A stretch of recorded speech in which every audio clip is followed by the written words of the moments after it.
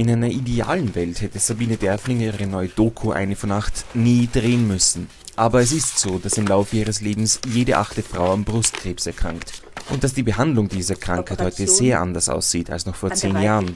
Zwei Patientinnen, unterschiedlich und doch auf gemeinsamen Wegen, folgt Derflinger in einem Film, der sich mit den beiden durch Graz bewegt und mit seiner Uraufführung wieder nach Graz zurückkehrt. Das habe ich noch nicht gemacht.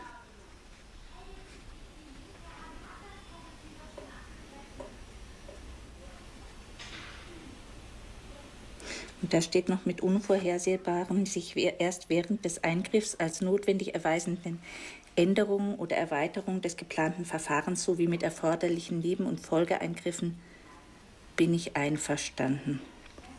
Und da muss ich auch noch sagen, dass ich, dass ich damit nicht einverstanden bin.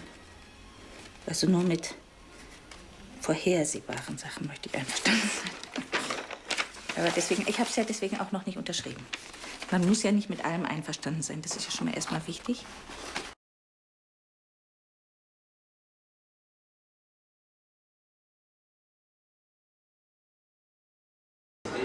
Das ist wunderbar, weil es werden kommen, also es, es wird zur Premiere die gesamte Ärzteschaft kommen, das Schauspielhaus und die Straßenbahn.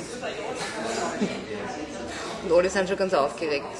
Und ich finde es toll, also dass sie die da auch alle treffen und also es sind, glaube ich, über 80 Leute kommen da jetzt aus diesem Kreise um die Protagonistinnen herum, die so verschiedenartig sind und da verschmelzen. Protagonistinnen gewollt hätten, weit, wäre ich immer mitgegangen. Also dann wäre noch einmal die Frage, was wir herzeigen davon. Aber mitgegangen wäre ich immer. Also ich meine, in dem Fall bei Brustkrebs ist es ja so, dass es eine Krankheit ist, an der man selbstverständlich sterben kann, aber nicht sterben muss. Und eine Krebsart ist, die besonders gut behandelbar ist. Daher ist natürlich das Thema anders, wie in Filmen die Zeit zu gehen oder die anderen Filme, die Sie angesprochen haben. Es geht um eine Krankheit, die lebensbedrohend ist und die man gleichzeitig überleben kann. Das ist natürlich eine ganz spezielle Herausforderung. Es gab also quasi relativ ja, bis nach der Operation gab es nicht den Bezug, dass ich mit dann, also nichts. Dann habe ich ein ganz langes Gespräch gemacht, das ich auch aufgezeichnet habe, aber das jetzt nicht im Film ist, aber das ich an sich toll finde und hoffe, dass ich es als Bonusmaterial auf die DVD geben kann. Ein ganz langes äh, Gespräch mit einem Onkologen, mit dem Dr. Mohenfer von, von, von äh, vom LKH in Graz, also war dreieinhalb Stunden. Also da habe ich halt alle Fragen gestellt, die ich jemals stellen wollte. Also jetzt aus medizinischer Sicht und aus Forschersicht. Äh, natürlich vor allem also am Motor war natürlich, gibt immer diese Fragen, warum kriegt man Krebs? Also ist man selber schuld oder ist es das Haarshampoo oder so. Also da wollte ich einfach vieles wissen von all diesen Dingen.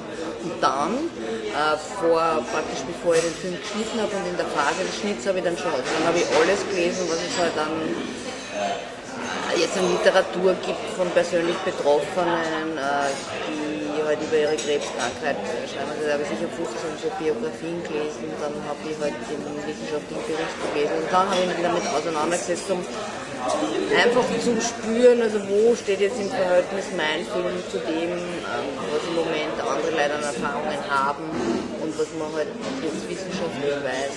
Aber der Film ist ja kein medizinischer Film, es ist ja vor Porträt. Der Film beschreibt diese zwei tollen Frauen an einem bestimmten Punkt in ihrem Leben, wo sie halt ganz dem Titel noch eine von acht äh, mit der Diagnose Brustkrebs konfrontiert sind.